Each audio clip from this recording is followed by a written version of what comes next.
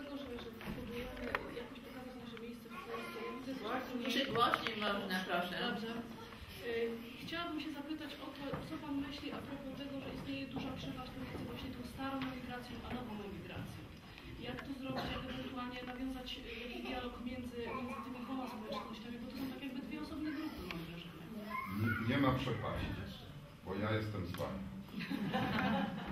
Oczywiście jest to problem. To znaczy I jest moja... to, to są dwa światy, przecież to są ludzie, którzy mają 70-80 lat, a nowa emigracja to przeważnie 20 lat. Ale te osoby też mają dzieci, też mają tutaj y, y, osoby w naszym wieku, czy starsze, czy, czy tak dalej. To są dalej... Poprzez indywidualne kontakty.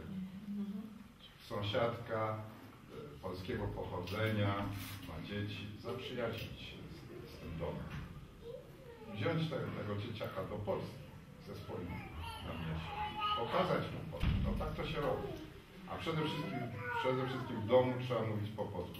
Ja miałem taką sytuację, że e, ja i mój brat, młodszy ode mnie, e, mówiliśmy oczywiście do mamy i do babci po polsku, ale między sobą już po angielsku. A któregoś dnia, mniej więcej w wieku 10 lat, ja doszedłem do wniosku, że koniec tego i zacząłem do niego po polsku mówić. Po polsku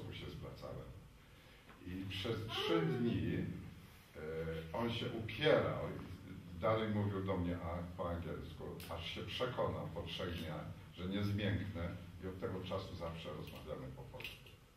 Więc trzeba mieć te, te, te, te no, charakter, zaparcie, nie? Decyzja. Decyzja, prawda? Zacina się człowiek czasami, ale jest w stanie dokonać. Tak jest. Bóg. Dobra. Dziękuję bardzo.